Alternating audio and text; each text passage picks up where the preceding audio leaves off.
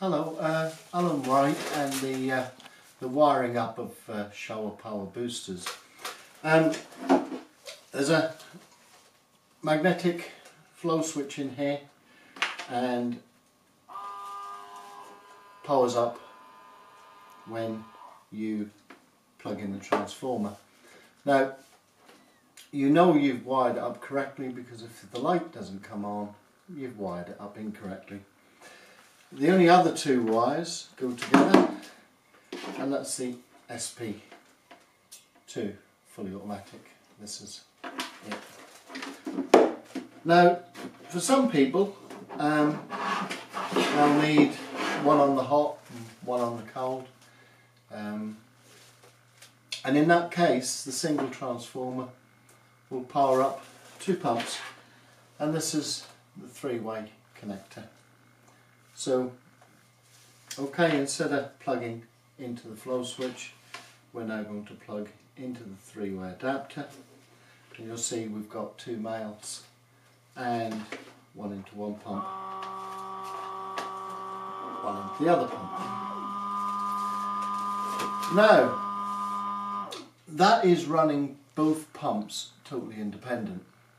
However, um, it's much better if you can have a, a, a situation where both pumps come on at the same time, even if there's not enough flow to run one or other of the flow switches. And this is where the four-way comes in. And the four-way, simply male, female,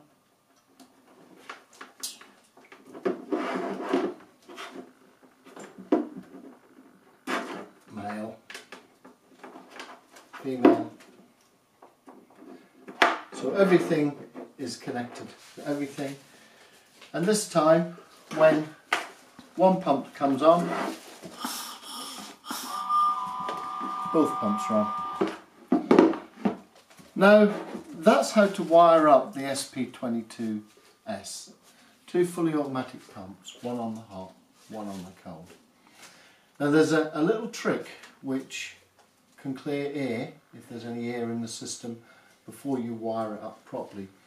And what I would recommend is when you fit these, in order to clear any potential air, and nine times out of ten you won't need it, but if you do have air, let's take the four-way out for a moment and unplug the flow switch and unplug the other flow switch.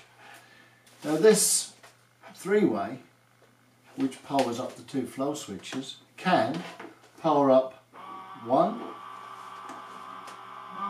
two pumps. Now this has made them run manually without uh, the flow switches.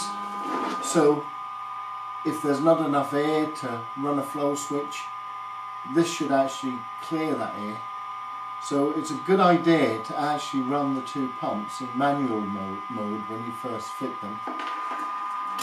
And then after you've cleared the air, plug back the flow switches, you see the light comes on. The light comes on, that means you've wired it up correctly. And now we've got these two spare wires. If it was just a single pump, you'd put that and that together. There's the four-way four way connects to there so one pump done the other pump done. And as you see all the wires are connected to everything. Now there are diagrams in the uh, manual that you get. Um, you should be able to follow it. It's, it's easy when you know how. Um, there's no way you can wire up any of these pumps in such a way that it'll blow anything. You're not going to damage it. But light on means the flow switch is activated and that's what you should see when you walk away and you get fully automatic on the hot and the cold. Thank you very much.